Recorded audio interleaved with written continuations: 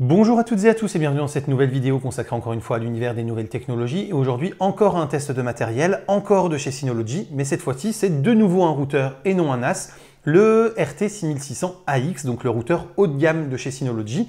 Pour tout ce qui est de l'interface, euh, des paquets, du fonctionnement, euh, du filtrage, de la qualité de service, etc., comme on est sous SRM, comme pour le WRX 560 que j'avais testé juste ici, je ne reviendrai pas en détail dans cette vidéo sur ces paramétrages et ces fonctions-là, et je vous laisse les découvrir en allant voir cette vidéo-ci qui les détaille vraiment euh, en long, en large et en travers. Aujourd'hui, on va se concentrer avec ce RT 6600AX sur les performances en termes de communication réseau, etc., pour pouvoir voir un petit peu ce qu'il propose de plus ou de moins par rapport à l'autre routeur que j'avais testé donc dans la vidéo que je vous ai mise en haut. Et pour ceux qui se poseraient la question pour savoir est-ce qu'il vaut mieux acheter un RT6600AX ou un WRX 560 qui hésite entre les deux puisqu'il y a quand même une certaine différence de prix, eh bien je vous propose une autre vidéo dédiée qui arrivera dans quelques jours et que je remettrai ici en fiche quand elle sera disponible, qui vous permettra d'avoir les avantages et inconvénients de chacun et euh, les performances de chacun pour pouvoir les comparer très facilement et faire votre choix.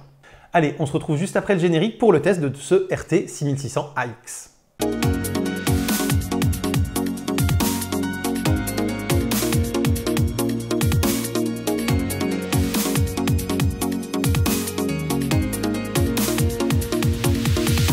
Alors comme je vous le disais, pour la facilité d'installation, pour l'interface, pour la qualité de service, pour les filtrages, pour les temps d'écran, pour euh, voilà tout ça, euh, les sites euh, dédiés, les priorisations ou non sur le réseau de certains périphériques, toutes ces fonctions-là, je vous invite vraiment à aller voir la vidéo sur le WRX 560 que j'ai faite pour en avoir le détail. Alors déjà au niveau de l'aspect extérieur de ce routeur, on est sur un routeur plat avec des antennes externes. Sur le devant, on retrouve uniquement la référence du produit. Sur le dessus, on retrouve plein de diodes. On retrouve les quatre diodes pour les quatre connecteurs réseau LAN. On retrouve une diode pour la euh, WAN, une diode pour le Wi-Fi et une diode pour le statut, ainsi que le logo Synology. Sur l'arrière, on va retrouver un port USB, le port WAN, les quatre ports LAN, dont un qui est commutable en WAN à 2,5 gigabits, le bouton d'allumage ou d'extinction, un bouton reset et le connecteur d'alimentation. Et sur le côté droit, quand on l'a en face de soi, on va retrouver le bouton Wi-Fi et le bouton WPS pour pouvoir se connecter, même sans mot de passe, euh, pour connecter des périphériques rapidement. On est ici sur un routeur Wi-Fi 6 triple bande avec une bande 5 GHz à 4,8 gigabits par seconde, une autre bande 5 GHz à 1,2 gigabits par seconde, et une bande 2,4 GHz à 600 mégabits par. Ce qui permet, si vous avez un périphérique qui est capable de cumuler les trois bandes, eh d'avoir jusqu'à 6,6 gigabits par seconde en Wi-Fi en maximum théorique, d'où son nom de RT6600AX. Notez également qu'il est compatible avec la bande des 5,9 GHz en lieu et place des 5 GHz, ce qui peut permettre, si vous avez beaucoup d'interférences dans votre entourage, euh, parce que vous habitez par exemple en immeuble avec beaucoup de Wi-Fi qui utilise la bande des 5 GHz, et bien de passer sur la bande des 5,9 pour avoir moins d'interférences et des meilleures performances. Notez qu'il est également compatible avec des largeurs de bande de 160 MHz, là encore pour maximiser les débits et les performances. Côté hardware, on est sur un processeur quadricœur à 1,8 GHz épaulé par 1 Go de RAM. Le processeur est une référence qui n'est encore une fois pas communiquée par Synology, mais en tout cas ce que j'ai pu constater c'est que ce hardware permet de soutenir des très bonnes euh, performances, y compris quand on a beaucoup beaucoup d'objets connectés en même temps sur le routeur. Donc les débits justement, déjà parlons de débits globaux. Euh, j'ai pu sans aucun problème saturer les 1 gigabit par seconde de téléchargement que permet ma connexion fibre et les 500 mégabits par seconde d'upload que permet aussi cette connexion. Donc déjà à ce niveau-là, pas de souci. Si vous avez une connexion fibre standard, c'est-à-dire euh, autour de 1 gigabit par seconde, vous pourrez l'exploiter totalement. De la même manière, si vous avez une connexion fibre qui monte jusqu'à 2,5 gigabits par seconde, vous pourrez également l'exploiter en commutant un des ports LAN en port WAN 2,5 gigabits seconde, donc ça c'est plutôt une bonne chose aussi. Et comme tous les autres ports euh, LAN déjà sont avec un débit dédié de 1 gigabit par seconde, bah, vous allez déjà pouvoir largement saturer vos 2,5 gigabits avec les trois ports restants, et vous allez aussi pouvoir bien sûr donc utiliser tous les périphériques Wi-Fi pour utiliser aussi cette bande passante. Par contre, si vous avez des connexions fibres 10 gigabits, eh bien malheureusement ce routeur ne permettra pas de les exploiter à pleine capacité, puisqu'il est limité à 2,5 gigabits maximum sur le filaire. Si je compare aux performances que j'obtiens avec mon Wi-Fi Mesh actuel, qui est un système Mesh Xiaomi, clairement les performances sont incroyables puisqu'on est quasiment à deux fois plus de débit au même endroit et dans les mêmes conditions. C'est-à-dire que sur la shield de la télé par exemple, je multiplie par plus de 2 les débits si je passe du réseau de mon Wi-Fi Mesh Xiaomi au réseau établi par ce RT6600AX. Pareil avec mon téléphone, j'ai eu quasiment deux fois plus de débit quand je le testais un peu plus loin dans la cuisine par rapport à ce que Xiaomi m'offre avec mon système mesh actuel. Avec ce routeur RT6600AX, vous pouvez créer jusqu'à 15 SSID différents donc autant dire que sauf cas très exceptionnel, ça ne devrait jamais être une limitation dans votre usage, parce vous allez pouvoir créer autant de SSID que nécessaire. Et surtout, grâce à la hausse de qualité du hardware par rapport à son petit frère, le WRX 560, Synology revendique la possibilité de connecter jusqu'à 200 périphériques sans perte de performance. Alors bien évidemment, je n'ai pas 200 périphériques à connecter chez moi pour pouvoir le vérifier, mais en tout cas, j'ai une bonne trentaine d'objets connectés, plus après tout ce qui est euh, smartphone, euh, shield, console de jeu, euh, télé, etc. Et même quand tout était connecté, j'avais des débits qui étaient extrêmement performants, puisque comme je vous le disais, ils étaient environ deux fois supérieurs à ce que me propose mon système Wi-Fi Mesh actuel. Au niveau de la consommation, contrairement au 923 Plus que je testais juste ici, qui explosait la consommation indiquée par Synology, ici Synology indique que ce RT6600AX consomme 11,11 watts en usage, et avec un usage intensif qui tire beaucoup en termes de débit, etc., je suis arrivé à une mesure sur ma prise d'environ 12 watts. Donc on est parfaitement dans la cible indiquée par Synology sur ce point. Ensuite, Synology a accepté de me prêter le WRX 560 un peu plus longtemps pour que je puisse tester le méchage avec ce RT6600AX, méchage dont je n'avais pas pu vous parler dans la vidéo dédiée au WRX 560. Donc ça c'est une très bonne chose parce que j'ai pu donc les mécher et ça marche extrêmement bien. C'est-à-dire qu'une fois que vous avez configuré le premier point d'accès, il vous demande si vous voulez en mettre d'autres en place. Vous cliquez sur oui. En moins d'une minute, il me détecte le WRX 560, il me l'ajoute à mon réseau, il me fait la liaison avec le RT 6600AX et tout fonctionne nickel. Donc là, pour le coup, c'est beaucoup mieux que ce que j'ai pu connaître avec Orbi ou avec Xiaomi précédemment.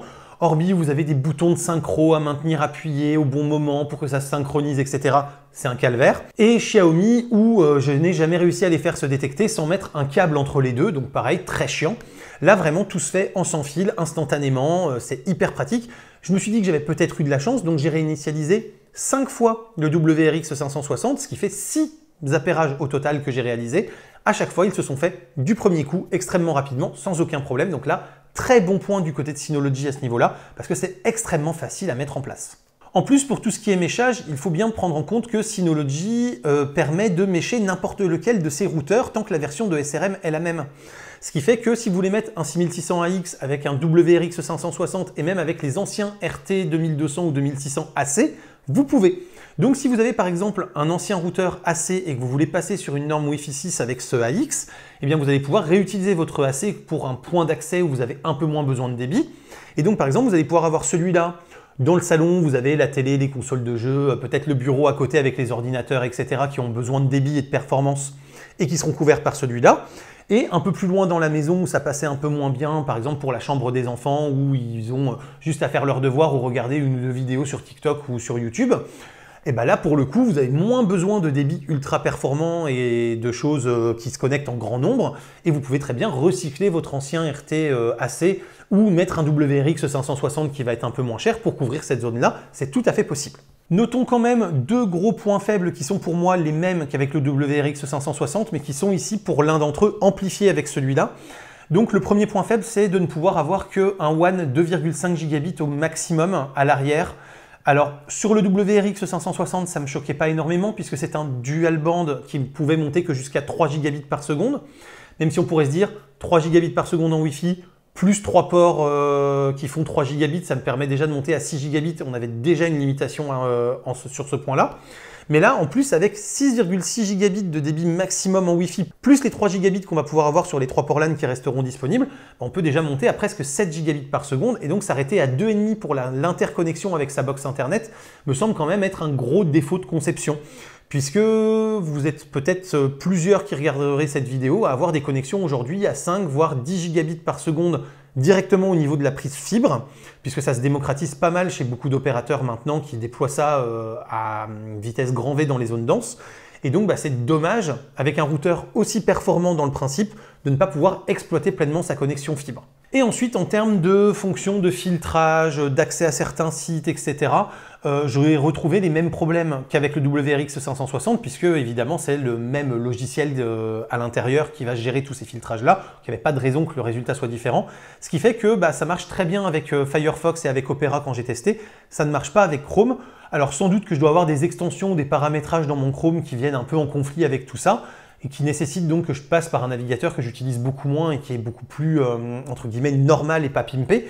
Mais en attendant, il faut le savoir, vous risquez peut-être pour certaines fonctions de devoir passer par un autre navigateur que le navigateur que vous utilisez habituellement pour pouvoir euh, avoir toutes les fonctions qui fonctionnent correctement, parce que sinon vous allez peut-être avoir des conflits entre ce que vous avez installé et paramétré sur votre navigateur et ce que euh, bah, permet le routeur au niveau du réseau et du filtrage. Voilà en tout cas pour le test de ce RT 6600AX, extrêmement bon produit hein, avec des performances quand même de haute volée. Et vraiment ce gros point noir de Synology qui n'intègre pas des connexions 10 gigabits dans tous ses produits.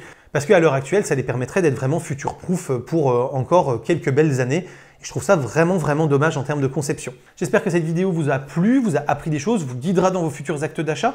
Si c'est le cas, n'hésitez pas à la commenter, la liker, vous abonner et partager. C'est le fameux clap, vous commencez à connaître. Vous avez également Tipeee, Utip, le bouton rejoindre et la boutique qui sont sous la vidéo et dans la description qui permettent de me soutenir financièrement en échange de goodies ou d'avantages exclusifs. Je vous invite donc à aller découvrir tout ça. Et moi, ça me fait toujours très plaisir quand on me soutient financièrement et que vous avez euh, donc euh, la sensation que mon travail mérite une rémunération. Et quant à moi, je vous dis à très bientôt pour plein de prochaines vidéos photos, techno, informatique et jeux vidéo qui font le contenu de la chaîne au quotidien. D'ici là, continuez de rester curieux et de regarder des vidéos sur YouTube. Salut à tous Bye bye